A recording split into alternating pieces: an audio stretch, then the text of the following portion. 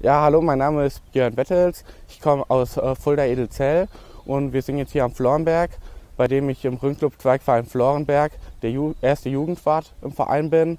Und ja, ich zeige euch heute mal, was ich mache und unseren schönen Garten der Sinne.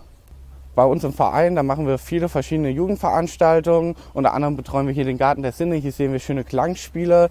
Ähm, bei dem man die Geräusche der einzelnen Elemente wahrnehmen kann. Und was ich auch im Verein mache, ist halt viele Jugendveranstaltungen, bei denen gerne viele Kinder mitgehen können und unseren Verein näher kennenlernen, weil wir sind nicht nur Wandern, wir sind auch Naturschutz, was wichtig ist für die ganze Region. Und auch wir freuen uns immer über neue Gesichter, die bei unseren Veranstaltungen teilnehmen können. Ja, zum Rundclub gekommen bin ich damals, kurz nach meiner Geburt, habe mich meinem Opa schon im Verein angemeldet und dann bin ich halt quasi so reingewachsen und jetzt kümmere ich mich halt auch um viele organisatorische Dinge wie Anmeldungen für die Wochenenden, für die Unternehmungen und halt, dass der Verein auch läuft.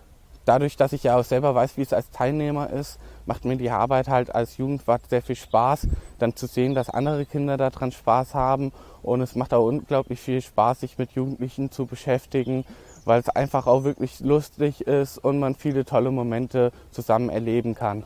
Fällt dir da spontan so ein Moment ein, wo du dir gedacht hast, ja, genau deswegen mache ich Ja, wenn man zusammen ähm, in unseren Zeltlager zusammen am Lagerfeuer sitzt und einfach reden kann und jeder erzählt einen lustigen Witz und ähm, ja, man braucht sich um nichts zu kümmern, sitzt da einfach und jeder hat Spaß. Das ist einfach unglaublich toll.